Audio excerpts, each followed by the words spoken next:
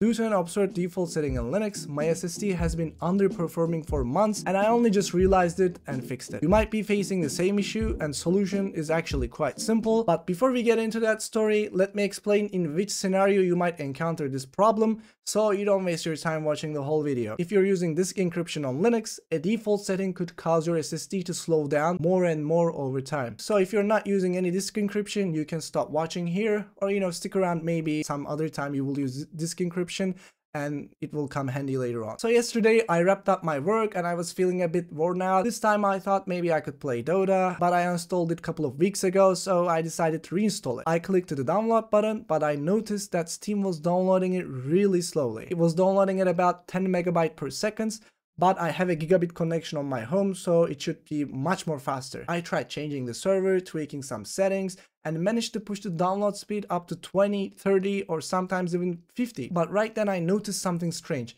The download speed kept fluctuating up and down, up and down. It's very unlikely the problem is coming from my ISP or from Steam because fluctuation indicates something else. And just as I was starting to suspect something else, my computer began freezing, lagging and slowing down. That's when I realized there was a problem with my SSD. And you know the first thing that comes to my mind? BTRFS. I was using the BTRFS system and back in the day, a bug in the Linux kernel had caused BTRFS to drastically slow down my SSD. So that's what came into my mind again. I cursed at BTRFS, formatted my computer, and switched to ext4. And I installed Linux, by the way. Anyway, I installed my Linux system again, booted up the system, and ran the kdiskmark tool. If you've ever used kdiskmark, read tests come first, and then the write test comes second. Read tests ran smoothly. I was, you know, as I was watching this kdiskmark happening, I was smiling uh, because, oh yeah, you know, read speeds are very nice. But then write tests started happening. I had 36 megabytes per second write speed on my NVMe SSD. It's it's very low, 36 megabyte per second on an NVMe SSD. I mean, I panicked a little bit, of course. I've only had this SSD for a year. How could something like this be possible? So I started researching, you know, what could be the problem. And then on Reddit or somewhere, I don't remember, I saw someone suggesting running a trim. If you don't know, the trim is a process that tells your SSD to clear out unused space. It's available on all operating systems, normally on Linux distributions, Fstrim runs about once a week. It was also running on my system for sure. But I thought, okay, you know, whatever, let's let's just try it out manual trim, let's see what happens. I tried the manual trim and I got an error. It wouldn't allow the operation, permission denied. I couldn't trim the root partition where the OS is installed on my system.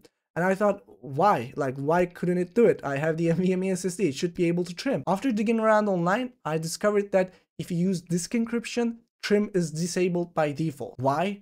Well, because trim could potentially lead to your disk encryption being cracked. I say potentially because it's a low risk, but that's why it's disabled by default in Linux. Okay, fine, but because of this setting, I'm not getting full performance of my SSD, and I didn't know this.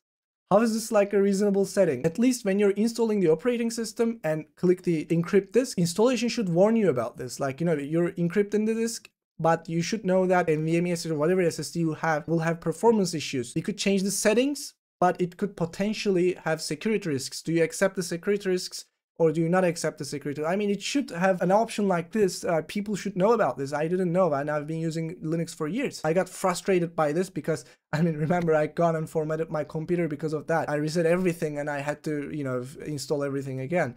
But anyway, so there was nothing I could do. I didn't install Windows and I immediately researched the solution. And if you're suffering from the same problem, here's what you need to do. Open your etc crypt tab and etc fstab files, find the relevant entries for your disk and add the discard argument. Then in your bootloader configuration, whether you're using grub or systemd bootloader, I don't know, whichever it is, add allow discard to the relevant line for your disk. After doing all that, I restarted my computer and manually triggered a trim operation again. I mean, how much do you think it did trim?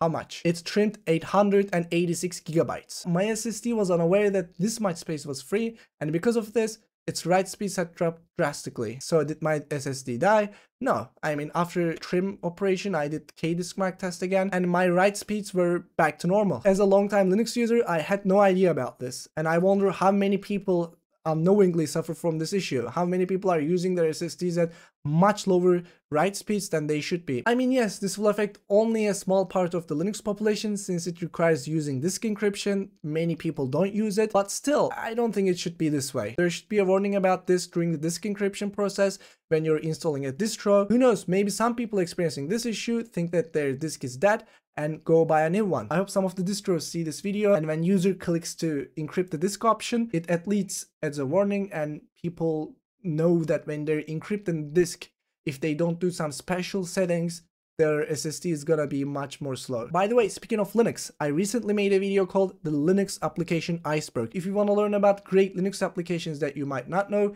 you can click here to watch that video.